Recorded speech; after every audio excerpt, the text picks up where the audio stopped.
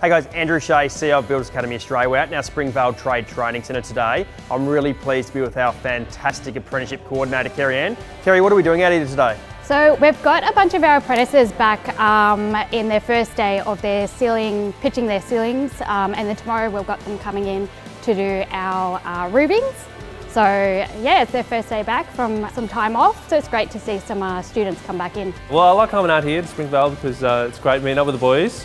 It's great having a, a break from the boss and um, yeah, get to learn some new things from new carpenters. I think it's important that people get their certificate to become a carpenter because you're therefore able to do your own jobs, you're able to work for yourself and you're able to employ people. We pretty much have the same trainer, see that apprentice on the regular basis so they're not swapped around. So when they create that bond, it's easier to communicate and it's easier, I believe, for the apprentice to be able to, you know, open up and, and sort of say, hey, you know what, I don't understand this. They're not feeling, you know, oh, maybe I don't want to say something, you know, because that's the whole thing. Communication, I think, is very important. Yeah, I get along with my trainer. He's really nice, um, helps me through everything, and no, he's good. Some of the highlights of uh, doing my apprenticeship has been uh, working on some really interesting jobs and um, getting the tan, um, making some good money, and just, uh, just learning a whole lot about carpentry that I didn't know before.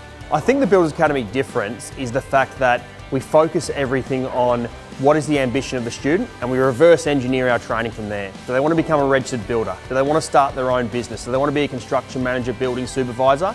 We make sure we give all the skills and knowledge that help them get there as quickly as they can and we make sure we treat every student as an individual. We focus our training, we actually have specialist trainers who still live and breathe the industry and we're really proud of the support we're able to give. If you're on the fence with studying with BAA, just um, do it, go for it. I couldn't recommend it more.